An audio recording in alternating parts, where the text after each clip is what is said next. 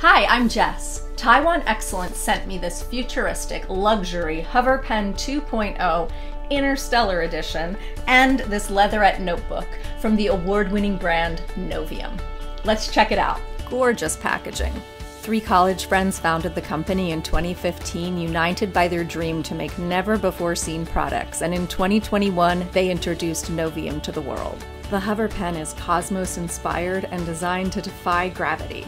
Hover Pen 2.0 promises no spills, no spotting, and definitely no explosions. And it's great for writing an evening gratitude list.